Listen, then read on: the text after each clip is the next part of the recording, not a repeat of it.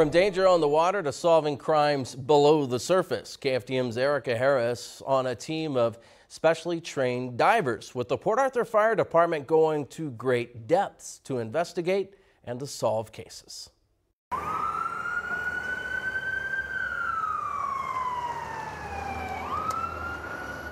Port Arthur firefighters always ready to answer the call to battle fires. They're also ready to respond to emergencies in the water. The Port Arthur Fire Department is also home to a special team of highly trained divers who help law enforcement agencies solve cases.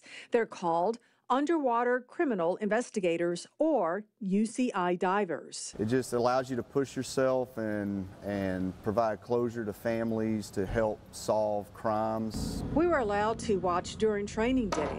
This session at a large canal off Jimmy Johnson Boulevard and 9th Avenue. Captain Joshua Resweber leads an underwater criminal investigators dive team of 12. We assist all the local, state, and federal law enforcement agencies in our area. Uh, there's a, a, process we use just like a land investigator would use. We use a process underwater to recover evidence, to maintain DNA, fingerprints, ballistics. Captain Chase Hampshire has five years of UCI dive experience.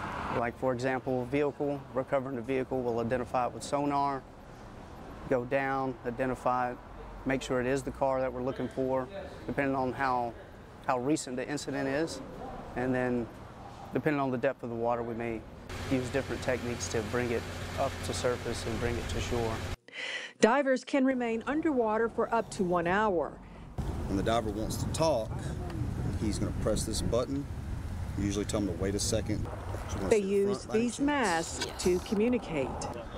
The divers fill buckets and dump contents into a sifter for evidence collection, a tedious process to find small objects like bones or projectiles. Captain Resweber finally finds something. It's a gun, a toy gun. The Port Arthur Fire Department UCI dive team is one of only a few in Southeast Texas.